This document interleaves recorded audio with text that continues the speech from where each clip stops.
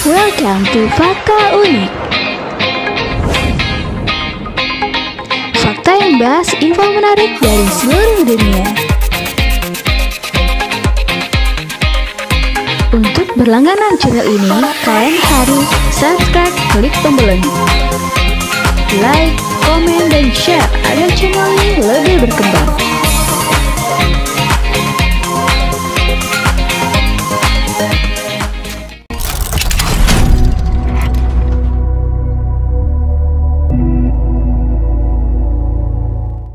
Kali ini Mimin akan membahas tentang fakta-fakta unik yang ada di Provinsi Jambi. Setiap daerah di Indonesia mempunyai keunikan dan kekhasan masing-masing.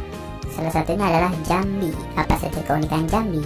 Ayo kita ke Jambi. Mari kita jalan-jalan ke Provinsi Jambi.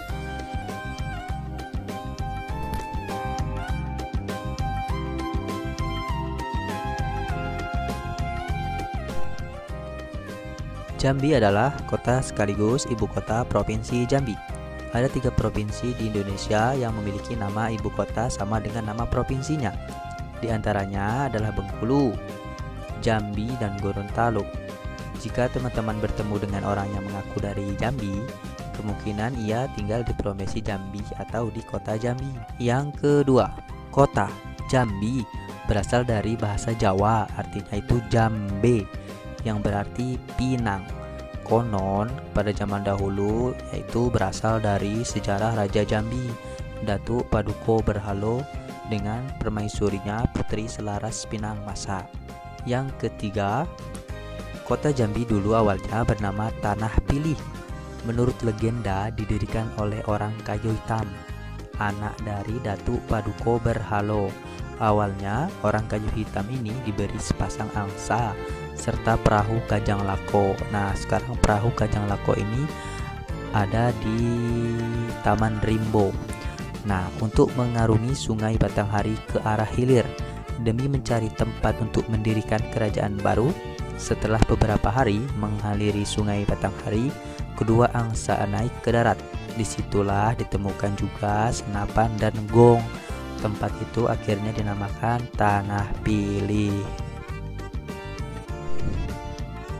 Selanjutnya yang keempat yaitu kota Jambi dialiri oleh Sungai Batanghari.